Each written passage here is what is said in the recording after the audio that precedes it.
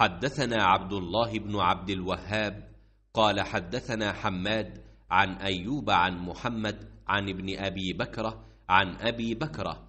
ذكر النبي صلى الله عليه وسلم قال فإن دماءكم واموالكم قال محمد واحسبه قال واعراضكم عليكم حرام كحرمة يومكم هذا في شهركم هذا ألا ليبلغ الشاهد منكم الغائب.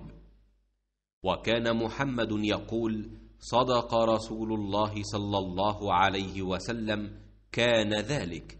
ألا هل بلغت مرتين؟